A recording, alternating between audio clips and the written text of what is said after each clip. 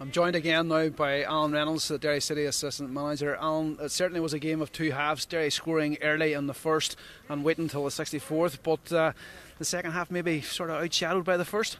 Yeah, look, you know, scoring so early, you know, you think you go on and get another and really dominate. Um, with enough chances in the first half, maybe to go in two or three up, but um, credit to them. Your second half was, was flat a little bit, and you know, you get the second one, you're comfortable then.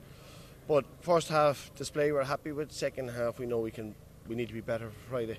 We certainly come out and put Drogheda under pressure from the off as well too, grabbing that early goal in the fourth minute. Do you think that it come a wee bit too early?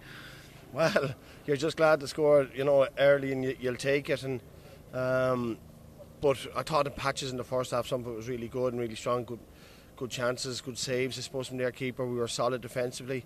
Um, as I said, second half just faded out, I suppose, and um, but look, we, we've eyes, I suppose, on Friday now on St. Pat's.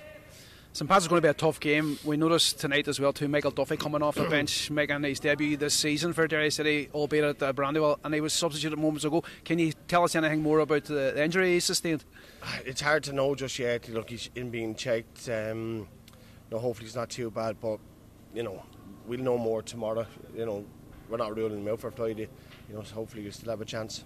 St Pat's will be a different animal to Drogheda. They're on a high at the moment. They're sitting top of the league too, so they'll be looking forward to coming here and giving a, a game on Friday night. Yeah, really good side, and uh, it'll be two good teams. They'll have a right go at each other, so um, we look forward to it. We needed that game tonight, you know, with the game being off on Friday, so that'll stand to us, and we look, we look forward to, to St Pat's. Alan, thank you for joining thank us here on much. LOI TV. Cheers. Thank you. Bye bye. Thanks, Alan. Appreciate that. Cheers.